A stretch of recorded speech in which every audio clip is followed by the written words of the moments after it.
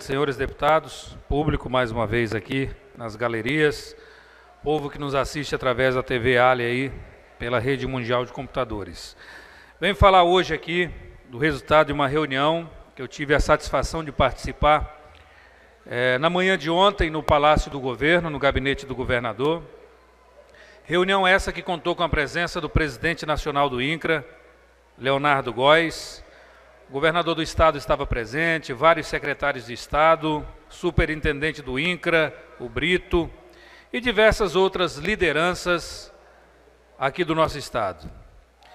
E o presidente do INCRA ele veio ao nosso estado para conhecer das autoridades aqui a realidade da situação fundiária aqui do nosso estado. E eu tive a oportunidade de, na minha fala, relatar os conflitos e as necessidades de regularização fundiária na região em que representa, em que tem a minha base, Machadinho do Oeste e Cujubim. Fiquei feliz em ouvir do presidente, na reunião, que até o final do ano que vem, o INCRA estará emitindo cerca de 250 mil títulos definitivos de propriedade.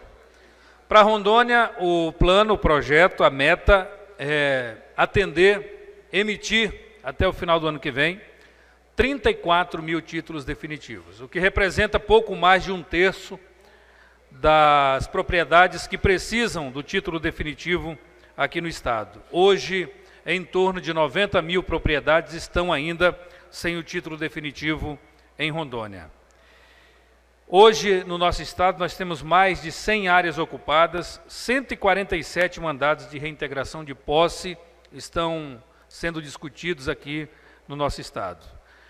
Na minha região, nós temos duas necessidades. Em Machadinho, pessoas que ali estão, Vale do Anari, Cujubim, pessoas que estão há 20, 25 anos em cima de suas propriedades e não têm ainda o documento da terra. Outra preocupação, outro problema que nós vemos no campo lá são as possibilidades de conflito, principalmente na região de Cujubim. Pessoas ligadas à Liga dos Camponeses Pobres de Rondônia estão ocupando uma propriedade lá no município de Cujubim. E o risco de conflito ali é iminente. Então, tive a oportunidade nessa reunião, durante a minha fala, de passar todo esse cenário daquela região para o presidente nacional do INCRA. Hoje, o INCRA, há cerca de dois meses aqui no estado, está no comando do Brito, pessoa que eu vejo que tem todas as qualificações, tem competência para ajudar nesse processo. Agora, o Brito, trabalhando com o INCRA, que é o órgão da União mais sucateado hoje da federação, sozinho não vai conseguir. Sozinho com essa equipe do INCRA não vai conseguir. Enquanto o programa Terra, Terra Legal não estiver trabalhando em harmonia com o INCRA, dentro do INCRA, daqui 10, 20 anos nós vamos estar falando a mesma coisa aqui.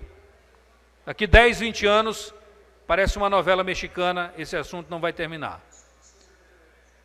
Parece até que o programa Terra Legal, e isso eu falei ontem na reunião, ele foi criado com o objetivo de ser um concorrente na reforma agrária do INCRA. Tanto que ele funciona, deputado Ayrton, dentro do CIPAM, que é um órgão que nem todos os cidadãos têm acesso, que é de segurança nacional. Então, tudo isso eu tive a oportunidade de relatar ontem, de passar essas dificuldades para o presidente nacional do INCRA. E ele anunciou também investimentos. E ontem ele veio aqui para dizer também aos agricultores de Rondônia que já estão prontos para serem emitidos, desde ontem, 3 mil títulos. Lá no meu município, Machadinho do Oeste, falaram que era 3 mil títulos só para Machadinho. Fui em busca de informação com o superintendente e ele negou. Diz que desses 3 mil, aproximadamente 600 são para atender as propriedades do município de Machadinho. Mas são números que nos animam e eu espero que essa novela da regularização fundiária ela termine logo, porque nós teremos duas histórias de Rondônia para contar. uma antes da titulação de terras e outra depois. Porque com o título definitivo, com o documento da sua terra, deputado Lazinho, o nosso produtor rural, nosso parceleiro, vai poder chegar a um banco e ter acesso a diversas linhas de crédito, a diversos financiamentos. Na minha região, em Cujubim, por exemplo, muitas pessoas estão há 10, 12 anos em assentamentos como o Galo Velho, por exemplo, assentamento Galo Velho, sem energia. Estivemos no programa Luz para Todos aqui em Porto Velho com a comitiva de agricultores e nos foi informado que sem um documento do INCRA não tem como o programa atender os agricultores. Então é muita coisa ligada, deputada Lúcia Tereza, a essa questão da titulação das terras aqui no nosso município. E eu espero que tudo que o presidente nacional do INCRA firmou de compromisso ontem, tudo que ele falou, que seja cumprido com as autoridades e com o povo do estado de Rondônia.